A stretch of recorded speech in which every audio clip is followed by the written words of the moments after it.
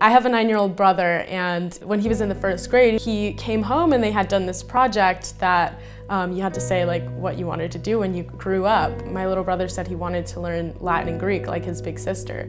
And that was like a huge moment for me where I felt like I had some sort of impact on children and that impassioned me to bring what I thought was important in my life to other people.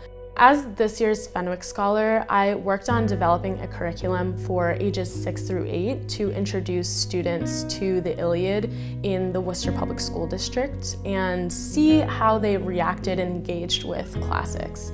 The Fenwick Scholar is the highest academic honor at Holy Cross and I've been working on an independent original research project which was my whole curriculum for the academic year.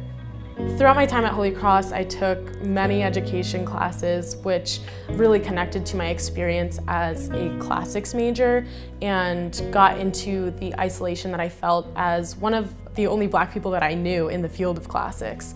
I thought that introducing the Iliad specifically to marginalized communities where I felt so much connection to Achilles would really increase engagement and access as well in a way that hasn't been done before, which I think is why diversity and inclusion in classics is important in the first place.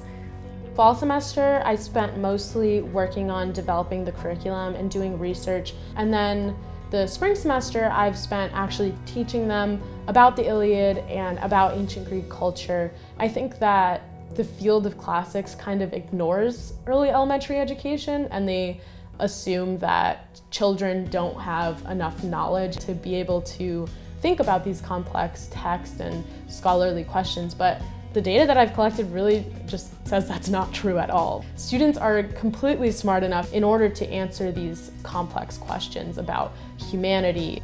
The students have surprised me like time after time that they're very smart and they're very capable of adding to this scholarly discussion of what the Iliad is about and how access to classics can really change someone's life and what they think about the world.